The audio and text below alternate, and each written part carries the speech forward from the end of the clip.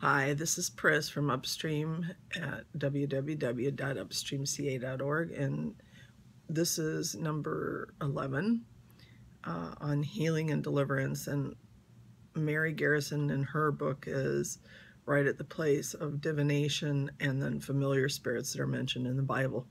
So I'm going to share what um, I have on that, and then we'll read the little bit that she has there.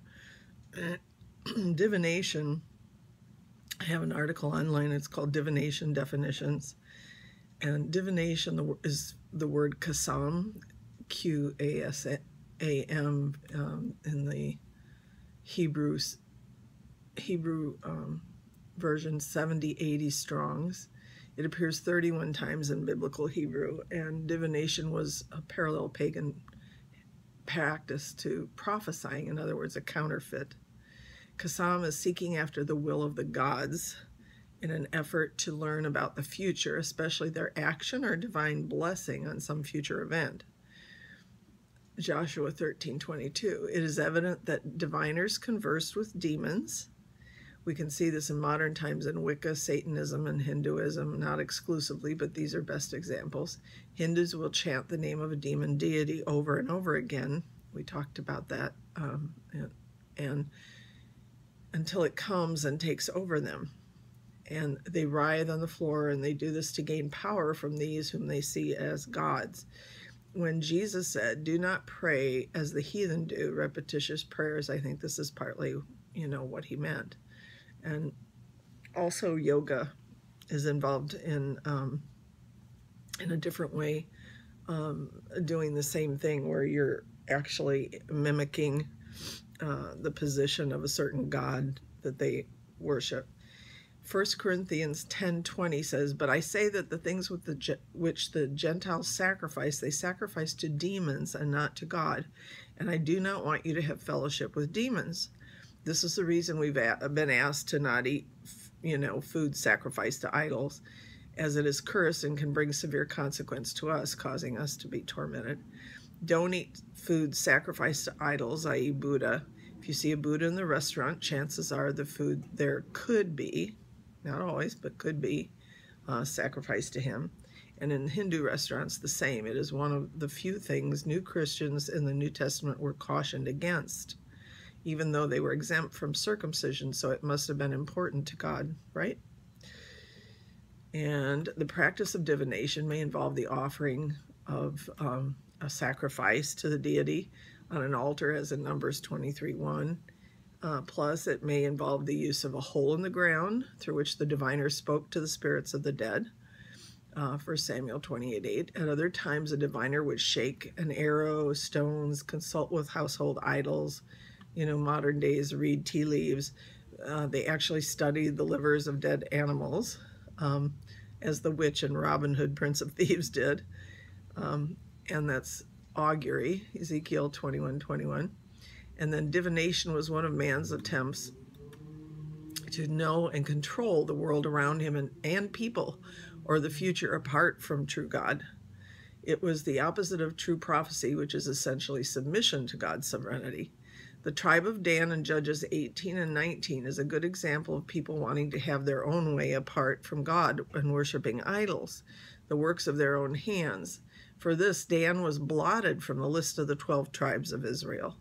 And the tribe of Joseph's son took that tribe's place. So we see in the New Testament list in Revelation, if you look at Revelation and, and the different tribes that it lists, you know, what, this stone for this tribe and whatever, there is no Dan. Okay. Divination is used of Balaam in Numbers 22, and once his own resolve to make money was replaced with submission, God sent him on his way. There are many today who need to resolve to not practice their gifts for money. In the New Testament, the Greek word for divination is python, puthon, 4436 Strongs, which is in English is python. In Greek mythology, Puthon was the name of the python serpent or dragon dwelling in Pytho, P-Y-T-H-O, at the foot of Mount Parnassus, guarding the oracle of Delphi and slain by Apollo. Thence the name was referred to Apollo himself. Later, the word was given to diviners or soothsayers. So they were called Python, Pythonesses. Um, since demons are the agents inspiring idolatry, okay, um, it was given to them. The young woman in Acts 16 was possessed by a demon instigating the cult of Apollo and thus had a spirit of divination. Following is from um, Zondervan's Bible Encyclopedia on Divination. And it says that divination is related to magic, M-A-G-I-C, but it is distinct from it mainly in that the latter attempts to produce certain effects while the former seeks knowledge. Nevertheless, practitioners of one also might engage in the other, like in Hinduism, or I mean like Houdini uh, methods. Okay, now there's specific terms for different methods, and one is chresmology, C-H-R-E-S-M-O-L-O-G-Y, is prognostication by seers and through oracles that may be divination to the extent that information is sought out. Prophets were formerly called seers and were sought to ascertain God's will, 1 Samuel 9 9. Seers, like prophets, could be false, and Micah 3 7 links them with diviners to whom God refuses to answer. Oracles were messages from a deity. The word also signified the person or place who transmitted them. Ouija boards would be like this. Okay, and then oneiromancy, O-N-E-I-R-O, mancy, uh, M-A-N-C-Y, dreams were thought to convey divine messages. These frequently needed interpretation, like with Joseph and Daniel. In the false interpretation, one would sleep in a temple uh, called incubation, hoping for a dream from the resident deity, the god of healing. Asclepius was thought to especially communicative, be communicative in this regard.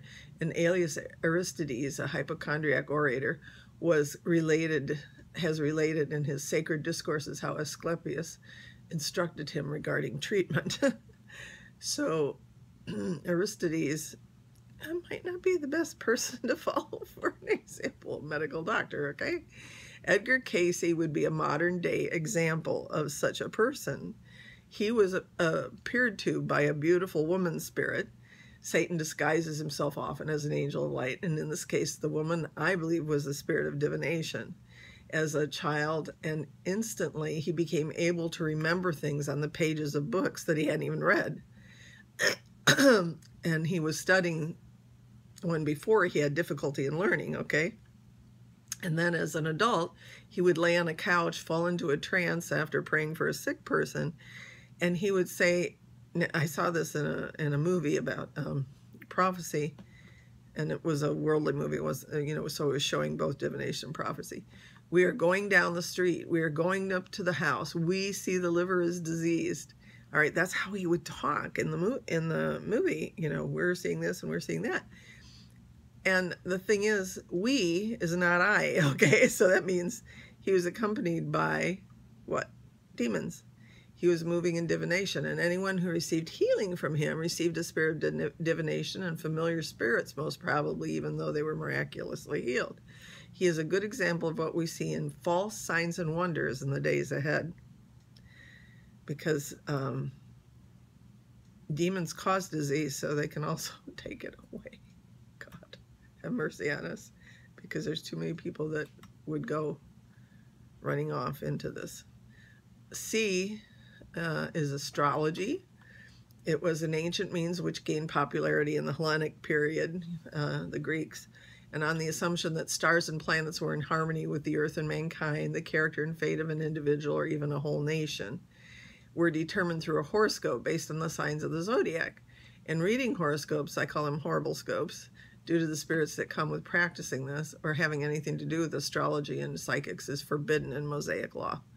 Okay, Isaiah 47, 13, New King James says, you are wearied in the multitude of your counsels. Let now the astrologers, the stargazers, and the monthly prognosticators stand up and save you from these things that will come upon you.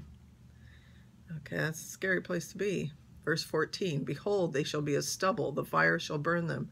They shall not deliver themselves from the power of the flame. It shall not be a coal to be warmed by, nor a fire to sit by. In other words, it's not going to be uh, comfortable. He's talking about hell. So D is necromancy, okay, was consultation with the dead. And this was done through a medium who received messages through a familiar spirit and was severely condemned in the Bible. Modern times would be to attend a seance, practicing Ouija board, or practicing channeling, or getting in touch with your spirit guide, which are is common in native Indian religions and in Hinduism, Buddhism, and New Age, which is actually Old Age Hinduism. Um, and necromancy, uh, there there was that guy, uh, remember on TV for a while, I don't know if he's still on, that was talking to the dead of, of people in the audience. They say, oh, I see your grandmother, and she says this, blah, blah, blah, blah, blah. That's not who he's seeing. It's like Saul at, at Endor. Okay. Haruspicy was a study of uh, H-A-R-U-S, it's like Haru, H-A-R-U, spicy, S-P-I-C-Y, was the study of the entrails of animals and especially hepatoscopy, so studying livers, studying their guts provided a means of impersonal divination used widely from the Babylonians to the Romans. At one time, the liver was considered considered the seat of life, and since sacrificial animals were used, hepatoscopy was a religious practice. The Encyclopedia Britannica mentions it as a part of Etruscan diviners' practices. They also interpreted all portents of unusual phenomena of nature, especially thunder and lightning. They were said to have learned it from being named ta being named Tages, T-A-G-E-S. It never came became part of the state religion, although augurs were. Later, the art art fell into disrepute, and under the empire, however, where ex there existed a collegium of 60 haruspices. However, it was never a state priesthood, but a body of salaried expert advisors. Yuck. Anyway, augury is another one and augury was the analysis of the movement of animals, especially birds. And Encyclopedia Britannica states that augur comes from Augustus, and it seems therefore originally to have meant an expert in fertility magic rather than a diviner. The natural region to look to for signs of the will of Jupiter was the sky, where lightning and the flight of birds seemed directed by him as a counsel to men. The mere appearance of certain birds indicated luck, um, good or bad, and it was singing also and the sound of birds made that were important to them. And then omens and portents, uh, G, were many kinds, um, including the the above two things. A portent was a portent was an omen of great or supernatural character, such as earthquakes or heavenly phenomena, like an eclipse. Um, typical omens were involuntary human actions like a cough or a hiccup, the actions of animals or other impersonal occurrences, you know, like old wives' tales, they used to call this, but it isn't just old wives' tales, it's divination. Um, oh, you, you cough, that means this and this is going to happen. That's uh, the omen and portent thing. Divination by human signs is called cledon, cled, cledo, Cledonomancy. C-L-E-D-O-N-O-M-A-N-C-Y. Since one who had decided on a course of action would be more affected um, by a contrary omen, they had especially portents frequently took on a negative character. And then H is mechanical means, like hydromancy is divination by water, pyromancy is observation of fire as divination, and cleromancy, which includes the use of plates or rods drawn at random. And then rhabdomancy, R-H-A-B-D-O, excuse me, mancy, M-A-N-C-Y, is interpretation of the position of objects like sticks, straws, rods, or arrows, and in general, any casting of lots or of dice, um, drawing straws. And Micah 5, 12, 13 NIV says, I will destroy your witchcraft, and you will no longer cast spells. I will destroy your carved images and your sacred stones from among you. You will no longer bow down to the work of your hands. Isaiah 44, this is the last, Sing, O heavens, for the Lord has done it. Shout, you lower parts of the earth. Break forth into singing, you mountains, O forest, and every tree in it. For the Lord has redeemed Jacob and glorified himself in Israel. Thus says the Lord your Redeemer, he who formed you from the womb. I am the Lord who makes all things, who stretches out the heavens, who spreads abroad the earth by myself, who frustrates the signs of the babbler and drives diviners mad, who turns wise men backward and makes their knowledge foolishness, who confirms the word of his servant and performs the counsel